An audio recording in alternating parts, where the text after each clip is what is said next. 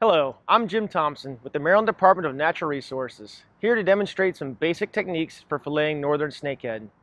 Their meat is delicious, nutritious, and can easily be substituted for just about any flaky white fish, such as perch, catfish, or even striped bass. All you need is an adequate working space and a sharp, flexible fillet knife. For safety's sake, you may also wish to use a fillet glove, and seasoned pros often have an ample supply of towels or rags on hand to combat the mess.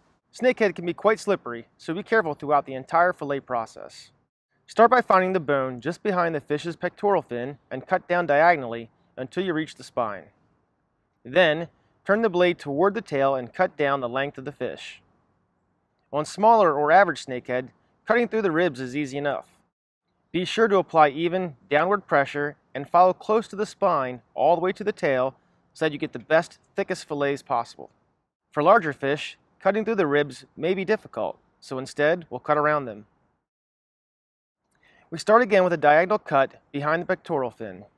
Then carefully make a cut from the head to just behind the dorsal fin. There you can pass the knife over the spine, through the fish, and separate the lower part of the fillet. To remove the thicker part, starting from the top down, make several careful passes with your knife, following the rib cage until you get to the thin belly meat. Not much there is usable, so just cut through the skin until the entire fillet is removed.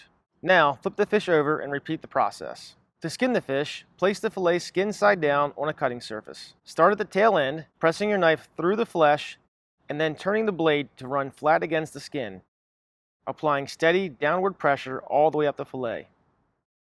Afterward, you'll want to cut out the rib bones.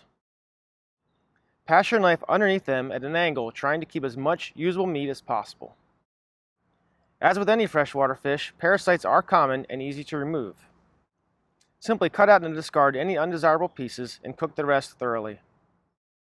Fillets can be used fresh or vacuum sealed and kept frozen for several months. For more information on northern snakehead, check out our other videos in this series or visit our website. Thanks very much for your time and bon appetit.